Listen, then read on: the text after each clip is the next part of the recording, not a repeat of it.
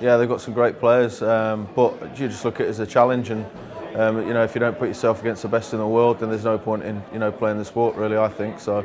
If you've got that chance, take it with both hands and, and do your best. No, we've got nothing to lose at all. We're, we're always going to be the underdogs in every all of these three games that we've played.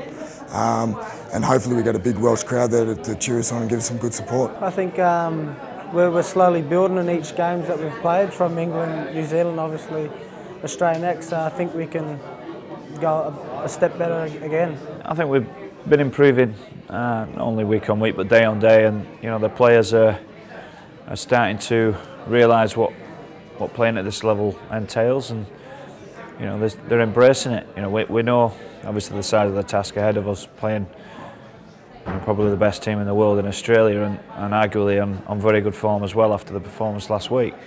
Uh, we've just got to make sure that we keep improving on the, the areas that we've worked on and try and be a little bit better than they were in the last game. And, and as we said, probably from the start of the campaign, that the results are reasonably irrelevant to us. It, it, it's the you know the improvements we make as a group, and you know the, the guys are starting to make them improvements slowly. So you know hopefully at the end of this campaign we'll walk away and, and say we're a little bit better for the experience and, and roll on 2012 and hopefully a tour and rolling into the World Cup in 2013.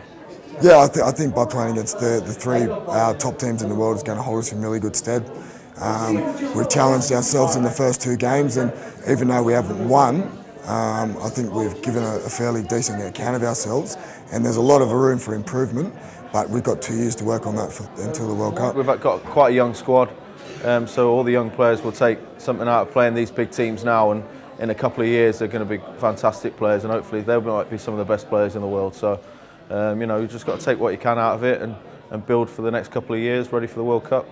You know, there's a, there's a lot of development going on in the game in Wales. And when I first come over to Wales, I remember we were teaching rugby union players how to play the ball. And so, as a, as a nation, as a rugby league nation, we've come a long way from, from that. And um, some of the young kids that are in the squad now are going to go on to bigger and better things in the future. The last four weeks has been outstanding, so can't ask for a better bunch of blokes.